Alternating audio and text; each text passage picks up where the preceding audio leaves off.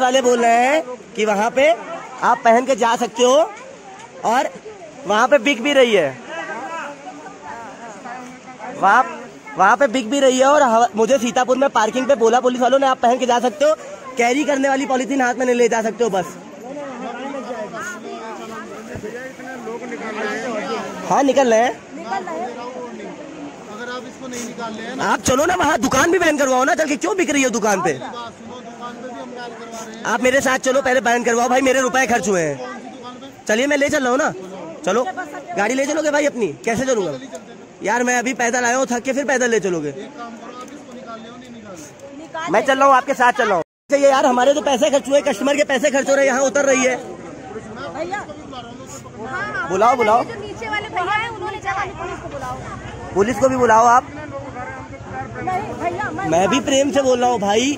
Customer के दो सौ दस रूपए खर्च हुए कि नहीं खर्च हुए तो यार बैन होनी चाहिए ना, क्यों हम पैसे खर्च करें? भाई, हमारी भी तो समझो, धाम पे आए हैं यहाँ हम, धाम करने आए हैं ना तो पैसे खर्च होते कि नहीं? हमारे बुखार हमारे बुखार है भाई। जी। बुखार है भाई मुझे बहुत ताकत लगा के बोलना पड़ रहा है। मैं बहस नहीं कर रहा हूँ आपसे, आपको लग रहा होगा प्यार से ही बोल रहे हैं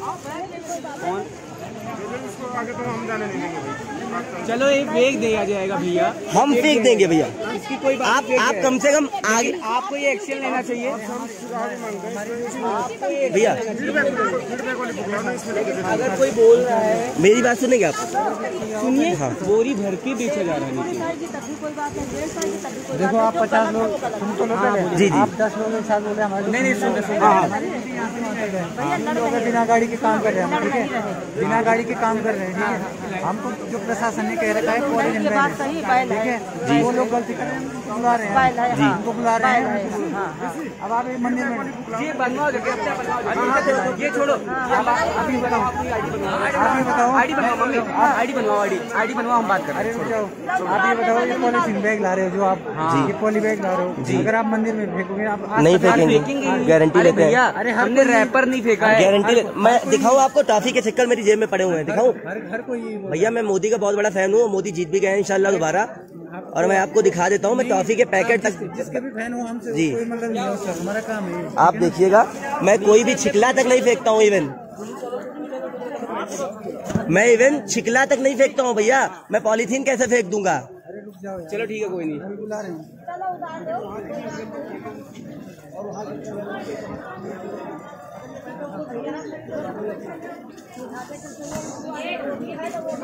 अभी बुला रहे हैं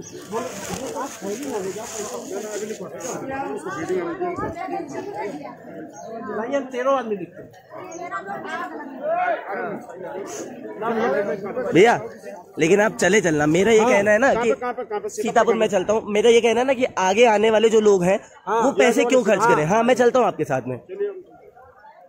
और नहीं अगर पुलिस वालों ने ही आपके कहा वहाँ सीतापुर ये पन्नी कहाँ पे मिली है ये मुझे सीतापुर की पार्किंग में मिली है और सीतापुर की जो चौकी है पार्किंग से निकलते ही इधर आने के लिए वहाँ पे उन्होंने कहा कैरी बैग नहीं ले जा सकते हो आप ये पहन के जा सकते हो। प्लस मैं आपसे कुछ और भी कहना चाहूँगा ये पहली पॉलीथीन बिक रही है नमकीन की बिस्किट की पॉलीथीन बिक रही है। ये आपकी रोडों पे पड़ी हुई है। ये भी बैन होनी चाहिए ना भैया? बैन तो हो रही है धीरे धीरे हो रही है भैया। तो भैया तो कुछ समझो यार। मेरे- आप, आप छू के देखो मेरे बुखार है। मैं भी पॉलीथीन टॉफी तक की नहीं फेंकता हूँ इवन रोड पे। हम लोग नहीं करते देखो भैया पढ़े लिखे मैं। आपकी बात समझ रहा हूँ। भैया इसमें बैन लगने का मेन कारण सुनो सर। आप पुलिस वाले हैं। आपको वहाँ से एक बार नहीं पचासों आदमी आ चुके अरे भाई, मैं आपकी पूरी बात समझता हूँ। करने अब बिक भी रही है तो उसके आप इसको फीडबैक कर में लीजिए इससे आगे ये आप- सब चीज़ें ना हो। आगे ये ना हो आप भी पुलिस वाले हैं ऐसे लोग बहुत आते होंगे आपके मैं ये बोल रहा हूँ जो दुकान वाला था। आपको रेनकोट पहनना पड़ेगा। वो चल रहा था। बेटा परमानेंट वाला था। परमानेंट वाला था आपको पहनना पड़ेगा। ठीक है मैं पहनूँगा। लेकिन आपको मेरे साथ चलना होगा उसकी दुकान बैन करनी होगी। आप चलो जहाँ भी जिस भी दुकान अभी हम लोग हम लोग हम लोग ऊपर से आते हैं ऊपर से कैसे लोग पहन के आ हैं। अभी सब हमने ऊपर से लोग कैसे पहन के आ रहे दुकान वालों का भी पाँच हज़ार का चलान कर रहे हैं। जी आप काटिए। बिल्कुल करिए, बिल्कुल यात्रियों आप यात्रियों को वार्निंग दे के छोड़ रहे हैं रेनकोट उपलब्ध करा रहे हैं।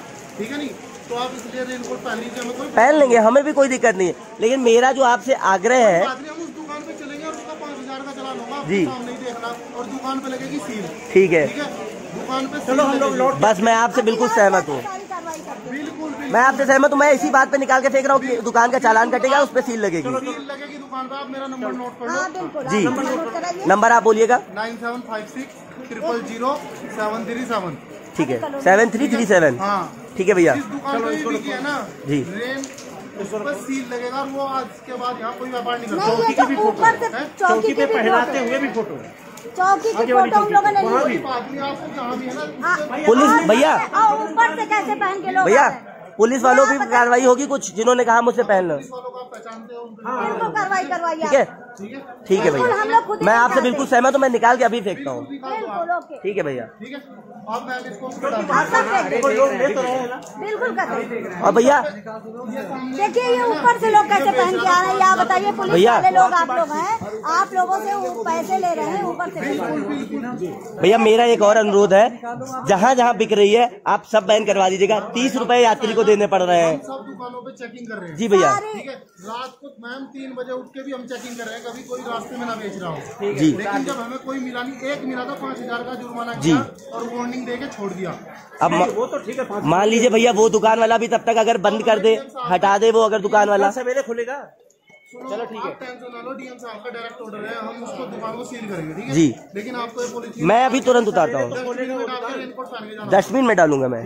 और अभी आप लोगों की सेफ्टी के लिए हमें कोई फ़ायदा नहीं हो रहा। जी जी बिल्कुल बिल्कुल। ये वेस्ट ऑफ़ मनी तो हुई ना हमारी। आपकी पॉलिथीन डस्टबिन से नहीं लेकिन तो बेकार लेकिन मेरा ये कहना है ना कि लोगों के पैसे जो बर्बाद हो रहे हैं वो ना बर्बाद हो। तो पूरा व्यापार ही बर्बाद हो जाएगा। ठीक है भैया।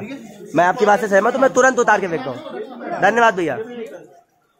क्या नाम है भैया आपका? पंकज सैनी। पंकज सैनी ठीक है भैया।